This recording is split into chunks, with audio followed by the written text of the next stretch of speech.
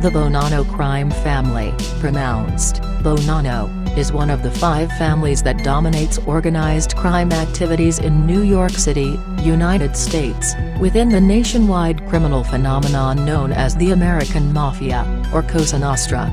Founded by and named after Joseph Bonanno, for over 30 years the family was one of the most powerful in the country. However, in the early 1960s, Bonanno attempted to seize the mantle of boss of bosses, but failed and was forced to retire. This touched off a period of turmoil within the family that lasted almost a quarter century.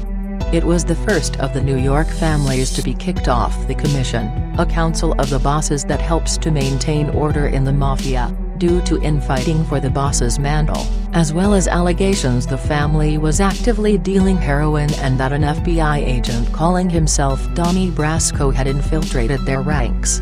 Later, the family faced shaky leadership, with the acting boss Carmine Galante murdered in 1979 at the command of Philip Rastelli, the actual boss. The family only recovered in the 1990s under Joseph Massino, and by the dawn of the new millennium was not only back on the commission, but also was the most powerful family in New York. However, in the early 2000s, a rash of convictions and defections culminated in Massino himself becoming a government informant in 2004.